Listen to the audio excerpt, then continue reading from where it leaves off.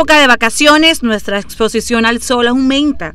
Conoce cómo protegerte de los rayos UV según las recomendaciones de los profesionales. Pero sin embargo ambos son responsables del cáncer de piel.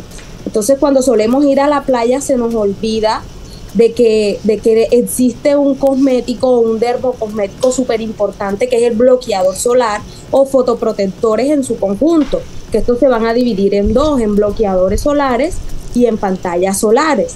Los bloqueadores solares lo que hacen es que el rayo solar entra, pero lo convierte en energía, lo convierte en calor, absorbe esos fotones y eh, provoca de que haya menos daño a la célula, porque resulta que cuando estos rayos entran, van a penetrar hacia las capas más superficiales y profundas de nuestra piel y van a provocar una serie de digamos, de daño celular, van a evitar de que las células logren regenerarse, van a evitar que las células empiecen a producir más pigmento, entonces empiezan a salir las temidas manchas de la piel, empiezan a salir las arrugas, porque los rayos UVA son los responsables del fotoenvejecimiento, o sea que si no queremos envejecer, tenemos que usar bloqueador solar, actor de protección solar, un bloqueador con FPS de 30, entre 30 y 50. Ya el de 100 es de larga duración, yo puedo durar de 4 a 6 horas o 6 horas a 8 horas sin reaplicarlo. Entonces hay que tener en cuenta que esto no es acumulativo, porque entonces la gente cree que entre más bloqueador se pone, más se va a proteger. Entonces, o, a la hora otra vez se pone bloqueador y me voy a proteger a la hora. No, o sea, cuando ya se te pase el tiempo, que son tres horas, tienes que volver a aplicar. Si bien la luz solar es fundamental para el desarrollo de la vida en la Tierra, los rayos ultravioleta que traspasan la capa de ozono pueden resultar perjudiciales para nuestra salud. La radiación puede provocar quemaduras de distinta intensidad, dañando la piel de manera transitoria y permanente. La exposición inadecuada a la luz solar puede provocar cáncer de piel y es por esto que debes tener en cuenta la siguiente recomendación.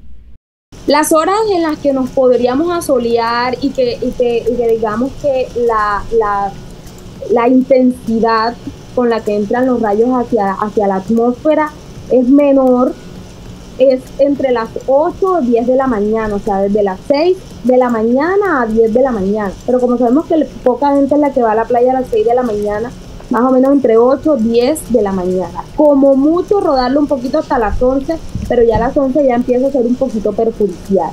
Luego viene una hora súper intensa de radiación solar y creo que todos lo sentimos cuando son las 11 y media hasta las 2 y media de la tarde. Es una hora peligrosa para ir a la playa, es una hora y es la hora que nos gusta más, porque yo hasta me incluyo ahí. Entonces es la hora que veo el sol más fuerte, quiero broncearme, entonces el bronceado también es otro, otra, otro factor, el afán de broncearme y no uso bloqueador porque el bloqueador me va a evitar el, el, el, color o tomar ese color canela que es el que yo quiero. Entonces, no, yo tengo que usar mi bloqueador y mi bronceador. Puedo usar ambos o comprar un bronceador que tenga factor de protección solar.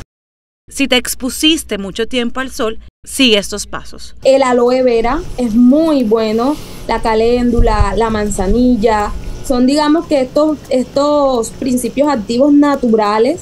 Eh, vemos los geles de aloe vera, entonces podemos utilizar la sábila, el cristal de la sábila, ponerlo en la nevera y, y aplicarme ese cristal de la sábila que me va a ayudar a paliar un poco todo ese, ese, ese ardor causado por el sol. Otras recomendaciones que pueden servir para esta época de vacaciones es beber mucha agua, comer liviano, principalmente frutas y verduras, usar ropa clara y amplia que no absorba los rayos del sol.